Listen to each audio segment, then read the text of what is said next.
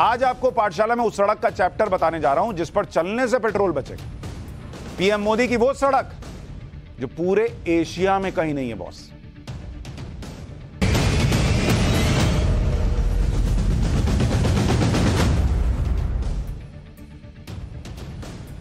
बारह फरवरी को देश को एक और हाईटेक एक्सप्रेसवे मिलने वाला है। यह एक्सप्रेसवे है दिल्ली मुंबई एक्सप्रेसवे। इस एक्सप्रेसवे का पहला हिस्सा हरियाणा के सोहना से राजस्थान के दौसा तक, जो बनकर तैयार हो गया है और 12 फरवरी को प्रधानमंत्री नरेंद्र मोदी इसी हिस्से का उद्घाटन करने वाले हैं। ऐसी झमाझम सड़क है ये। इसके बारे में अभी आपको बताऊँगा तो आपका दिल गदगद हो जाएगा। अगर इतना सभी इंडिया के लिए प्रेम होगा तो आपको नरेंद्र मोदी ने बनाया, बीजेपी ने बनाया, ये सब नहीं दिखेगा। आपको दिखेगा कि बॉस इंडिया में ये क्या ही हो गया। दिल्ली मुंबई एक्सप्रेसवे, जिसके शुरू होने का लंबे वक्त से इंतज़ार हो रहा था, उसका एक हिस्सा शुरू होने जा रहा है। बाकी हिस्से भी बन रहे हैं बीच बीच के पैचेस बन गए, वो भी जल्दी शुरू हो जाएँगे। देश की राजधानी दिल्ली और देश की आर्थिक राजधानी मुंबई, दोनों जगहों की अहमियत के बावजूद कैसे बरसों तक दोनों बड़े शहरों की दूरी कम करने के बारे में सोचा नहीं गया, उसके बारे में विस्तार से आगे आपको बताऊँगा। लेकिन सबसे पहले दिल्ली मुंबई एक्सप्रेसवे के बारे में थोड़ा आपको बताना चाहता हूँ। ये जो दिल्ली मुंबई एक्सप्रेस वे जिसके बारे में बता रहा हूँ, ये कमाल की चीज़ बनी है बॉस और आप कहेंगे कि भाई एक्सप्रेस वे तो लखनऊ वाला भी है। अरे बॉस अभी इसके बारे में सुनिएगा तो अब आपको पता चलेगा कि क्या ही चीज़ बन गई। इसकी कुल दूरी जो है मिटो ना कुल दूरी। यह है 1380 किलोमीटर 1380 किलोमीटर का एक्सप्रेस एक्सप्रेसवे इसमें लेन कितनी होगी? आठ लेन है। और ये 12 तक बढ़ सकती है। एक्सटेंशन कितना हो सकता है? इतनी जगह बनाई गई है, छोड़ी गई है कि 12 लेन का भी बन सकता है। पाँच राज्य से गुजरेगा। मतलब पाँच राज्यों को फ़ायदा होगा। अब ये पाँच राज्य कौन है? दिल्ली भी है इसमें, हरियाणा भी है, राजस्थान भी है, फिर एमपी भी है और गुजरात भी। लास्ट में मुंबई पहुँच रहा है तो महाराष्ट्र हो ही जाएगा। तो ये दिल्ली हरियाणा, राजस्थान एमपी गुजरात और महाराष्ट्र, छह राज्य हो गया एक तरीके से। तो इसको छह कर दीजिए, छह राज्य। दिल्ली से मुंबई एक्सप्रेसवे के लिए आपको पाँच जो जिन राज्यों से गुजरना है उसके बारे में तो बता ही दिया। लेकिन अभी दिल्ली से मुंबई, अगर कोई सड़क के रास्ते जाता है तो उसके लिए दो रूट है। पहला रूट होता है दिल्ली मुंबई वाया ग्वालियर भोपाल। इसकी दूरी है साढ़े चौदह सौ किलोमीटर और 26 घंटे का समय लग जाता है। दूसरा रूट है दिल्ली मुंबई वाया अजमेर अहमदाबाद। ये 1410 किलोमीटर का रूट है, इसमें भी 26 घंटे लगते हैं। अब जो ये दिल्ली मुंबई आपको बता रहा हूँ, एक्सप्रेसवे, इसमें समय कितना लगेगा आपको पता है? ये 1380 किलोमीटर का है और इसमें समय लगेंगे दिल्ली से मुंबई पहुँचने में 12 घंटे, मात्र 12 घंटे। अभी कितना लगता है जो आपको बताया? 26 घंटा लगता है, बॉस। मतलब वो एक्सप्रेसवे बन रहा है जो सीधा 14 घंटे खा जाएगा। खा जाएगा मतलब बचा देगा आपका। कहाँ 26 घंटा लगता है, कहाँ 12 घंटा लगेगा? सुबह आप बैठे और गाड़ी से पहुँच गए मुंबई। ट्रेन दिल्ली से मुंबई पहुंचाती है 15 घंटे 40 मिनट में। ये नरेंद्र मोदी ने ऐसी सड़क बना दी पहुँचा दी बारह घंटे में। इधर से रेस लगाइए। घर वाले को बोलिए, तुम ट्रेन में बैठो, मैं गाड़ी से जाता हूँ, देखते हैं कौन पहले पहुँचता है। फिर उसको वहाँ मुंबई स्टेशन पर रिसीव कीजिए, बोलिए, हेलो, मैं आ गया एक्सप्रेस वे ये माहौल हो जाएगा बॉस और अभी इसकी खासियत तो बताई नहीं आपको। दिल्ली मुंबई एक्सप्रेसवे को कई फ़ेज़ में तैयार किया जा रहा है। और सोना दौसा स्ट्रेच इसका फ़र्स्ट फ़ेज़ है। इसलिए जैसे जैसे जो हिस्सा बनकर तैयार होता जाएगा, उसे आम लोगों के लिए खोल दिया जाएगा। दिल्ली और मुंबई के बीच एक्सप्रेसवे बन जाने से सिर्फ़ समय ही नहीं बचेगा। पेट्रोल भी बचेगा, प्रदूषण भी कम होगा, और इन सब के अलावा जिन जिन शहरों से एक्सप्रेसवे गुजरेगा, वहाँ इकोनॉमिक डेवलपमेंट भी तेज होगा। कैसे होगा? इसके लिए आपको एक्सप्रेसवे की कुछ खासियत बताता हूँ, जो इसे सबसे अलग बनाती है। मैंने बोला ना, बॉस, ये सिर्फ़ समय बचाने वाला एक्सप्रेसवे नहीं है। बहुत झमाझम एक्सप्रेसवे। एक तो ये दुनिया का सबसे लंबा एक्सप्रेसवे होगा, दुनिया का। एक्सप्रेसवे बनाने में जर्मन टेक्नोलॉजी का इस्तेमाल हो रहा है। 50 साल तक का समय बताया गया है कि इसमें टूट फूट होने का कोई हिसाब ही नहीं है। 50 साल तक भूल जाइए, कोई टूट फूट नहीं होगी यह दावा किया जा रहा है। एशिया का पहला ग्रीन ओवरपास इस पर बन रहा है। अब ये ग्रीन ओवरपास क्या आगे दिखाऊँगा। आगे डिटेल में। एक्सप्रेसवे पर हेलीपैड बनाया जाएगा। 120 किलोमीटर प्रति घंटे की स्पीड से गाड़ी दौड़ा सकते हैं। हर 500 मीटर पर सीसीटीवी कैमरा लगा होगा। एक्सप्रेस वे एक्सेस कंट्रोल होगा। मतलब हाईवे के बीच में एक तरफ़ से दूसरी तरफ़ कोई भी आ जा नहीं सकेगा। दिल्ली मुंबई एक्सप्रेसवे पर एशिया का पहला ग्रीन ओवरपास और ग्रीन अंडरपास बनाया जा रहा है। आपने फुटओवर ब्रिज सुना होगा, रेलवे ओवरब्रिज सुना होगा, लेकिन ये ग्रीन ओवरपास और अंडरपास क्या है, बॉस?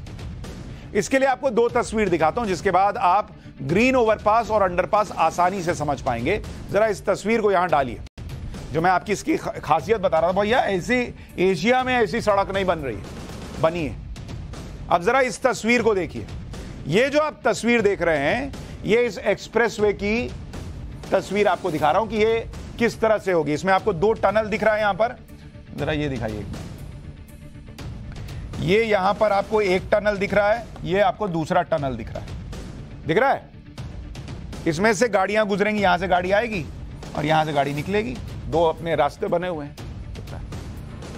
मतलब ये ऊपर का हिस्सा जानवरों के लिए है। कि आप यहाँ जंगल से निकलिए, टहलते हुए ऊपर से देखिए, अरे, ये अपने मिश्रा जी जा रहे हैं। और शेर चला गया ऊपर से देखता। किसी का टाइम पास नहीं हो रहा है, किसी जानवर का ऊपर से देख रहा है गाड़ियों को कि कैसी कैसी गाड़ियाँ जा रही तो इससे फ़ायदा क्या है? ये तो लाइटर नोट पे कह रहा हूँ कि जानवर सड़क पे नहीं आएगा तो हादसे नहीं होंगे। तो इसके लिए क्या किया गया साइड में ना मज़बूत शीशे लगा दिए गए ये देख रहे हैं, ये वाला हिस्सा जो है, इसको दिखा ये ये शीशा लगा हुआ है। इस तरह का शीशा लगा दिया जाएगा। तो इधर से जानवर नहीं आ सकता है। लेकिन उसके लिए जगह छोड़ दी, ऐसे आओ, घूम के जाओ, घूमो अपना जंगल। में तो शीशा ऊपर से नीचे तक लगा है ताकि कोई भी जानवर एक्सप्रेसवे पर ना आ सके। एक बार इसका वीडियो है क्या? वीडियो चला के दिखाएगी? किस तरह का बना है? वीडियो भी है मेरे पास। वो भी आपको थोड़ी देर में दिखाता हूँ। अच्छा तब तक एक दूसरी तस्वीर दिखाई। इसमें आपको कुछ जानवर जो हैं वो नीचे आते हुए दिखेंगे। जिसमें जो वीडियो दिखा, दिखाऊँगा, एक बार उसमें दिखाई, बड़ी स्क्रीन पर तो आपको समझ में आएगा। कि जो वीडियो है, उसमें दिखता है कि कैसे कुछ जानवर जो हैं वो नज़र भी आ रहे हैं और ऊपर कुछ फ्लाईओवर जैसा दिख रहा है।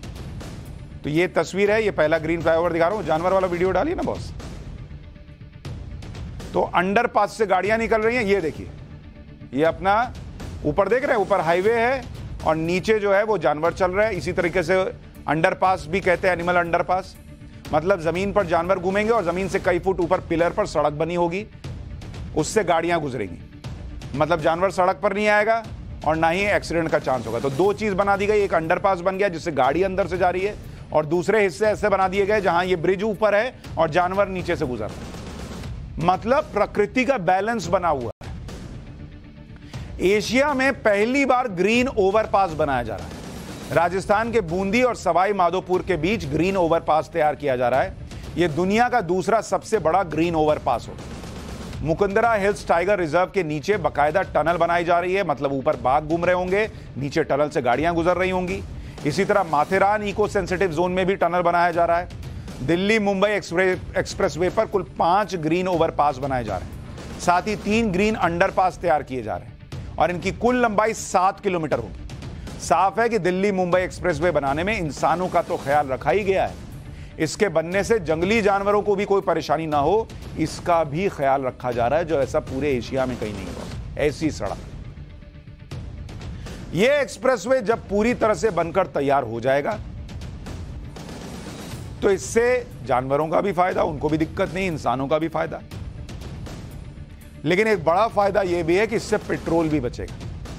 भाई, जब आपका सफ़र 26 घंटे से घटकर 12 घंटे का होगा, दूरी घट जाएगी, आप 100 120 की स्पीड पे चल पाएँगे, गाड़ी माइलेज ज़्यादा देगी तो पेट्रोल भी बचेगा, पैसा भी बचेगा। और इसका कैलकुलेशन सुनेंगे तो आप हैरान रह जाएँगे।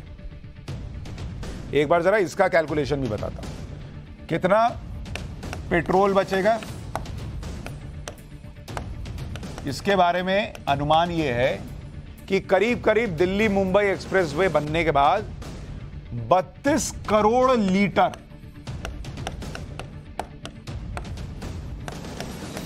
हर साल बचेगा। ईंधन। ईंधन। और इसमें जब आप मिला रहे हैं तो पेट्रोल, डीजल दोनों कर लीजिए। डीजल, पेट्रोल, दोनों तरह की जो गाड़ियाँ चल रही पैसे कितने बचेंगे? पैसे बचेंगे करीब 3200 करोड़ रुपए बचेंगे तो ऐसा एक्सप्रेस वे बन रहा है जिस पर आप चलिए। आप क्या चलिएगा पैदल थोड़ी जाएगा। चलने मतलब नहीं कहते गाड़ी से चलते हैं। गाड़ी चलेगी तो आपके पैसे भी बचेंगे। और सीओ उत्सर्जन में पचासी करोड़ किलोग्राम जो है उसकी कमी आएगी। मतलब चार करोड़ पेड़ लगाने पर जितना कार्बन डाइऑक्साइड कम होता, उतना सिर्फ़ इस एक्सप्रेसवे पर चलने से हो जाएगा कम। एक्सप्रेसवे पर 20 लाख पेड़ भी लग रहे हैं। रेन वाटर हार्वेस्टिंग सिस्टम भी लग रहा है 500 मीटर पर, हर 500 मीटर पर। दिल्ली मुंबई एक्सप्रेसवे, समय बचाएगा, जानवरों की ज़िंदगी बचाएगा, पर्यावरण बचाएगा, पानी भी बचाएगा, ईंधन भी बचाएगा। सत्तर साल बीत गए, लेकिन ऐसा कुछ सोचा ही नहीं गया कि दिल्ली और मुंबई के बीच ऐसा हाईवे या एक्सप्रेसवे बना दिया जाए, जिससे दोनों शहरों के बीच की दूरी कम हो जाए और रास्ते में पड़ने वाले शहरों को भी फ़ायदा हो। लेकिन प्रधानमंत्री नरेंद्र मोदी ने इसे सोचा मार्च 2019 में दिल्ली मुंबई एक्सप्रेसवे का शिलान्यास किया और चार साल बाद यह एक्सप्रेसवे बनकर तैयार होने वाला है। Economic expressway one, Delhi Mumbai expressway बन जाने के बाद जयपुर, अजमेर, कोटा, उदयपुर, भोपाल, उज्जैन, इंदौर, अहमदाबाद, वडोदरा, सूरत जैसे आर्थिक केंद्रों से कनेक्टिविटी में सुधार हो जाएगा। जयपुर, कोटा, इंदौर, वडोदरा और सूरत बड़े औद्योगिक केंद्र हैं। अगर मुंबई और दिल्ली से इनकी डायरेक्ट कनेक्टिविटी हो गई सड़क के रास्ते तो इससे उन शहरों को भी बड़ा फ़ायदा होगा। दिल्ली, जयपुर कह रहे हैं कि दो घंटे में आप पहुँच जाइए। तो आप सोचिए कि वहाँ टूरिज़्म कितना बढ़ जाएगा। तो लेकिन सत्तर साल से किसी ने दिमाग ही नहीं लगाया।